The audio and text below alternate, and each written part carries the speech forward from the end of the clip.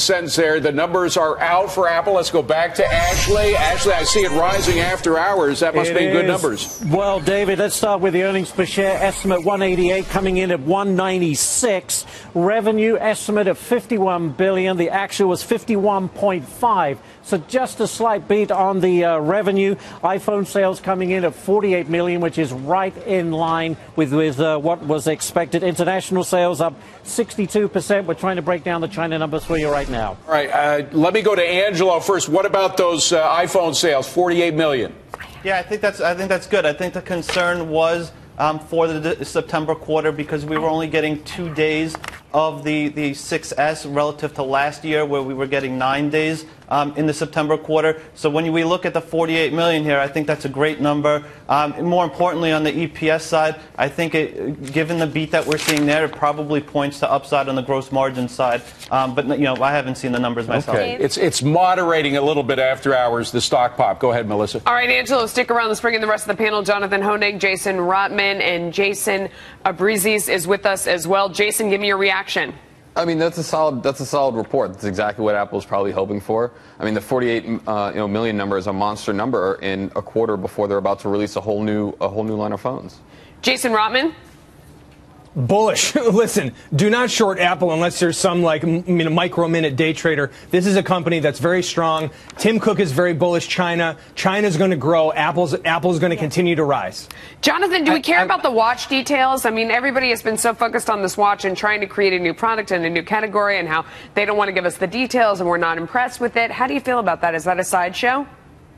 No, they are. I think investors are looking at the watch, Melissa. That's one reason why the stock is up on this beat, but it's up, what, barely even half percent in the after hours. Stocks are always forward looking. So the fact the iPhone number, and of course this is an iPhone company right now, the fact the iPhone number is, is it beats Okay. is terrific. But what about looking forward, whether it's the watch or the car? That's what makes a stock go up long term, looking forward, Okay. not looking at the present. It's also good insight into what's going on in China. And Jo, I want to bring you in. Like, what, what details are we getting on that? Yeah, the China numbers are pretty strong. $12.52 billion is how much they generated out of the People's Republic. It continues to do pretty well. If you look year over year, it's up by 99%. Not quite as strong as the pop that we saw of 112% in the previous quarter. But what we're seeing is the growth in China maybe impacting the growth of iPhone sales uh, for Apple. But overall, pretty strong. But we didn't get numbers from the Apple Watch, by the way. No, Uh, no, I know.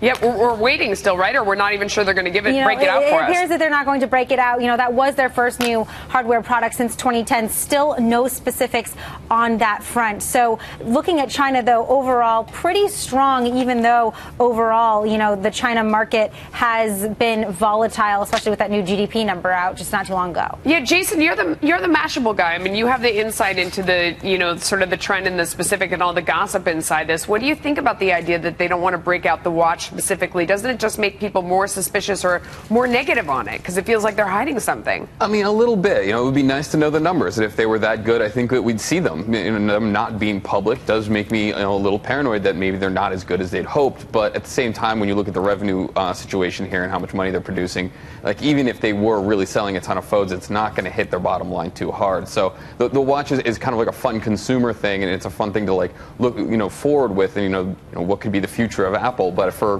you know, it's it's short to medium term business. It's it's not too much a Yeah, Jason Rotman. I mean, the phone refresh and you know whether it's upgrading or bringing out the new ones or a new model or everyone that's in the phone chain, it seems like th- this just continues to be a fabulous revenue stream. Exactly. I mean, you have some of the smartest investors in the world love it. Carl Icahn calls it the best annuity there is. It's just, it's, it's you just, you just collect income once every two years at most on repeat forever. And people are going to continue to always upgrade their phones. And as the world gets wealthier, as central banks stimulate their economy more, a la Europe, a la China, Apple's going to continue to sell phones at record pace. Yeah, Jonathan, how much does it depend? I mean, you mentioned the Fed. He mentions what's going on around the world. I mean, we've heard Apple before being called the hedge fund hotel, where you just check in your money and you leave it there, and and you know, at, at some Well, point, I guess it's have, go ahead. It's, Yeah. it's a cult stock, Melissa. I mean, this is a stock that people they, they would sell their probably their children or more than they'd sell Not shares of. Apple if they've held them for a long time. I keep my And you know children what? well, They've most been- of them. Go ahead. They've been smartly rewarded for holding on to it. So this, I wouldn't even say it's a hotel, but it's a cult stock. The problem is, is that in my estimation, it's no longer a growth stock anymore. Wonderful company, growing company, but you look at a stock trading Yeah. at 12, 13 times earnings, it's looking more like a washed up utility than tomorrow's big growth opportunity. Jo, on the other hand, the numbers are strong. And what's interesting, the CFO just came out and said that he saw no slowdown in China. That, that says a lot about Apple, but it says a lot about China, too, doesn't it? Yeah, it does. What you see here is the luxury consumer, the middle class who wants to be a luxury consumer. They are really parking their money in an iPhone. It's seen as a status symbol. You see with the selling, you know, $12.52 billion, up 99% year over year. That is very strong for Apple in China. So you may see as luxury goods not do as well in China. People are spending more on mobile phones, uh, but the growth there is still pretty strong overall. We also see that Tim Cook is saying that, you know, renewal is not there yet. There's still a lot Right. of phones that still have not been upgraded. So he expects to see stronger numbers going forward, too. Jason, I'm wondering if this is good news for other tech companies that are that are concerned about China. Well, yeah, I mean, if you if you use this as a proxy to say that China's not, you know, having the kind of consumer slowdown that some people might have feared, then absolutely, I think that there's a lot of boardrooms right now that are breaking down these numbers and saying like, hey, you know, things might be okay for the next, you know, few years. Jonathan, could this affect other stocks? The fact that it, they didn't see any slowdown in China, could it affect even stocks that have nothing to do with technology? It, it will, David. I mean, as you talked about, I mean, Apple is so much a part of the entire market. It's 12% of, of the entire NASDAQ. So it will set the trend that certainly most technology stocks will be related. And to your point, I think the fact that China, at least now, doesn't seem to be too much a worry, well, is it a good indication that consumption's not about to suffer? And, you know, the NASDAQ's only a couple percent from its all time high. That's bullish. And Yeah. Apple up after hours is bullish as well. Jason Rotman, you know, one thing I have to say is it always amazes me the number of people walking around with Apple devices and the latest Apple devices. I mean, I was talking to someone yesterday who had just paid $500 to upgrade his phone, and Oh. you're sort of like, are you sure you can afford that? You know, I mean, people really throw a lot of money around to have the Yeah. latest Apple device. And for a while, you thought, well, not everybody can afford this phone. You know, it's so expensive. Their price point is so high. They have so many fancy things. But then you look around and, and everyone's got them. It's amazing to me the disposable income that I feel like people can't necessarily afford that they're spending on these products.